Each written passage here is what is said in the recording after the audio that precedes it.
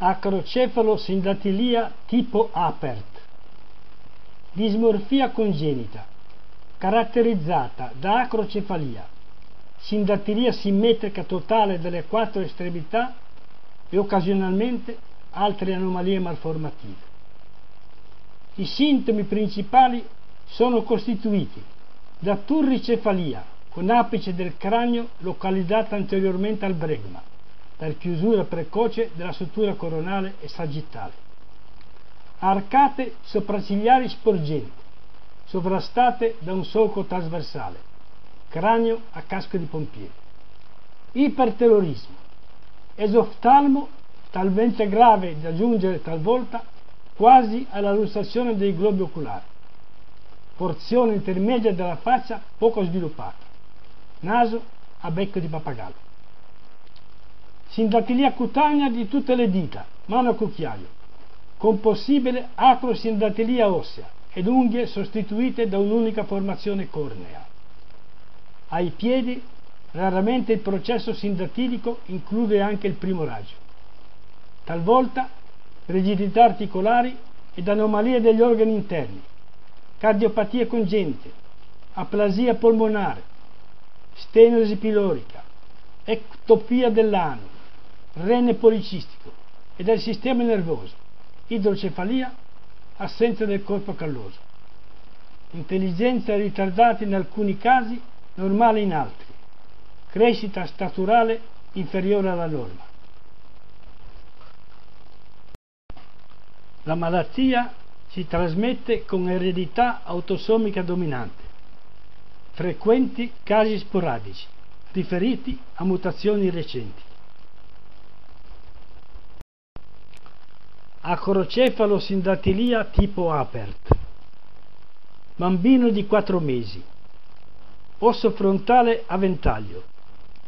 Appuntimento della calotta cranica al vertice.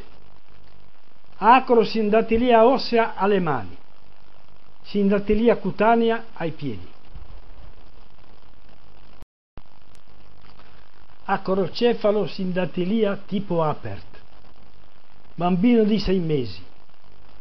Turicefalia, fronte alta, occipite piatto, strabismo, naso da pappagallo, prognatismo.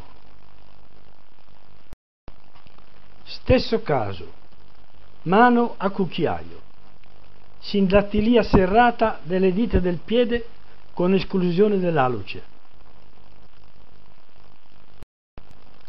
Acrocefalo sindatilia tipo apert, bambina di 4 anni, mano a cucchiaio, tetrasindatilia del piede. Stesso caso, turicefalia, ipertelorismo, esoftalmo con sublusazione dei globi oculari e strabismo divergente, naso a pappagallo. Acrocefalo sindatilia tipo apert esempio di familiarità, con aggravamento della displasia cranica nella figlia rispetto alla madre e comparsa nella stessa della sindatilia ossea che unisce l'apice di tutte le dita. Acrocefalo sindatilia tipo apert, soggetto già sottoposto a plastica ricostruttiva delle dita delle mani, sindatilia totale delle dita dei piedi. acrocefalo sindatilia tipo APERT. All'indagine tomografica risulta la complessa alterazione della base cranica, costituita da aumento della distanza interorbitaria, raddoppiamento delle strutture mediali, frontalizzazione delle cavità orbitarie ed accentuazione della divergenza degli assi delle orbite.